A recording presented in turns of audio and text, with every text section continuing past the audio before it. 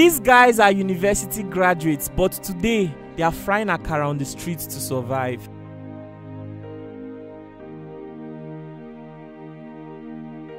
Hi, my name is Godsense Carlo.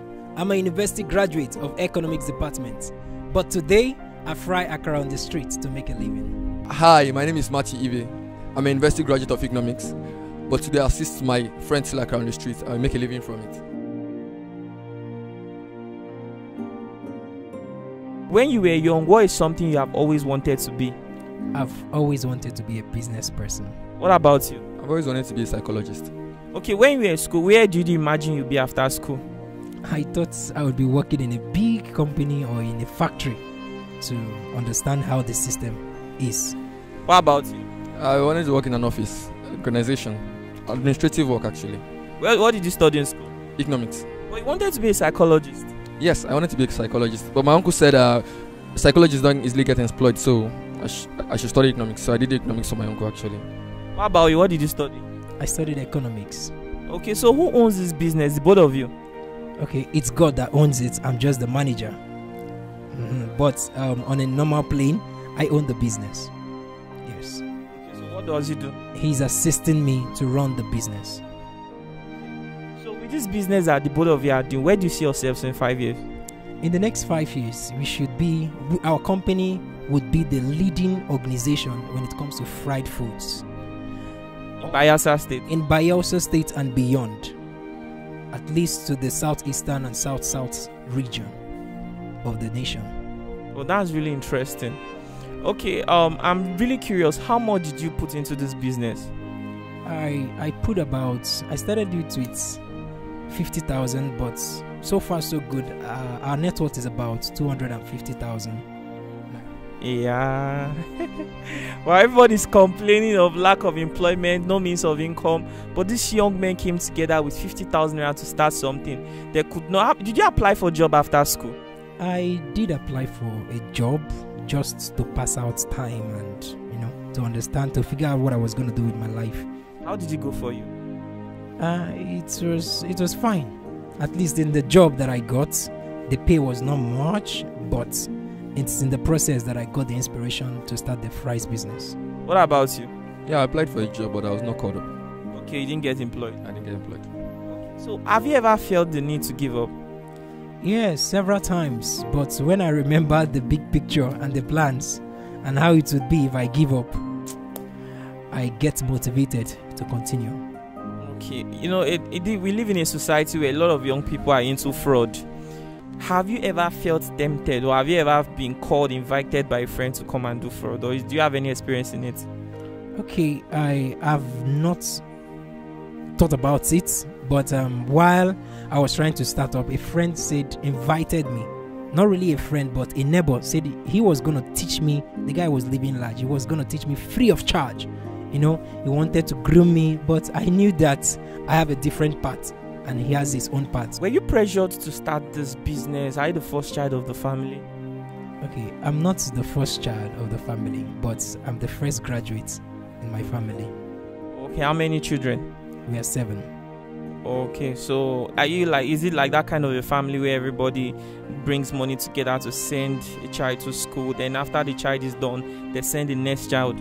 Yes, it's like that because um, the family extended contributed to my education. So, and um, right now the table is on my side to do the same, and God has been gracious. Are they proud of what you are doing currently? Uh, I was discouraged by some, and I was encouraged by some. So, but I've already made up my mind that this is gonna get big. And it will get big. So, what about you?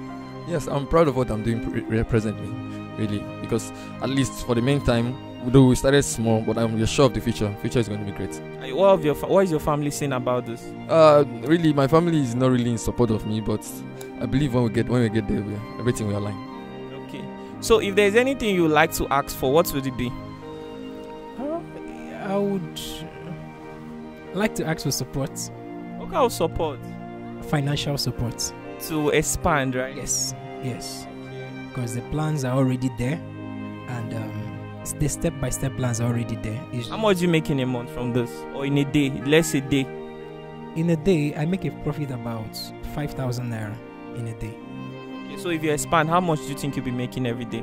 If I expand to according to our plans, we'll be making nothing less than 50,000 naira as profits every day.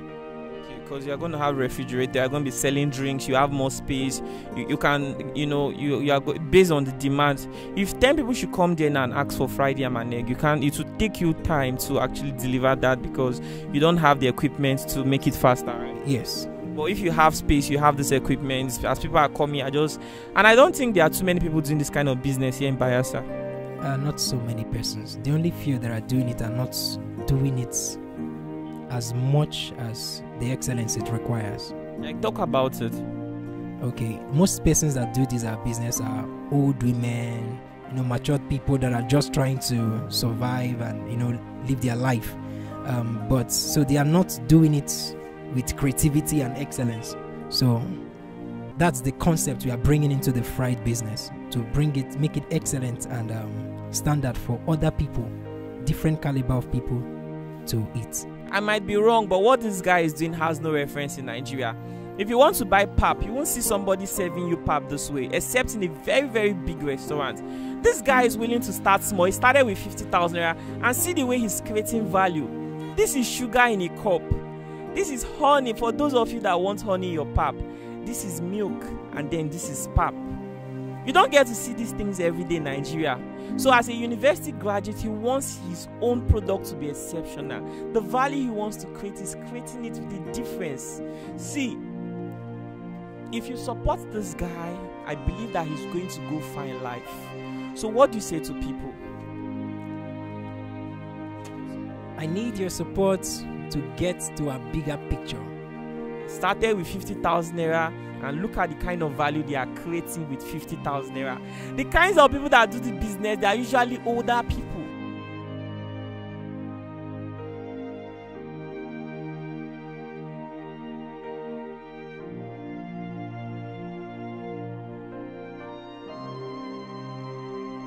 Do you have anything to say? An encouragement to Nigerian you that are just sitting at home watching this video and crying that life is really, really difficult and no means of income.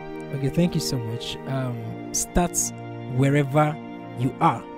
Start wherever you are. I believe in one thing. If I can get one naira from a business, I can multiply it and increase it. All I just need is the creativity and idea to raise it high. So don't think the profit is little. Don't don't be quick to make money. Set your foundation very well. The experiences, the losses, whatever you're doing, the experience is the most important thing. Be encouraged. Don't give up. Life is gonna get better. Thank you. What about you?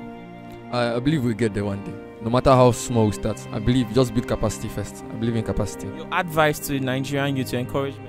Okay, I want to encourage every youth out there to just start from where you are. Don't let money stop you. Just get started.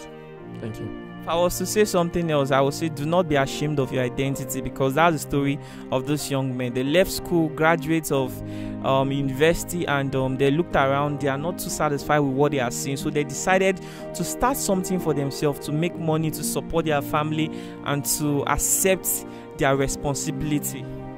I'm only praying that their greatness in this life is not going to have any reference. Their success will never be far from them. And um, I'm also encouraging those of you sitting at home and crying to God for help, and you are thinking of how to go into Yahoo, how to defraud somebody else of their hard-earned money. I hope that this, this video inspires you to see beyond your limit and your horizon. Do not be ashamed of your identity. Think of how you can start something small and make something great out of it. Lesse say bye to the viewers.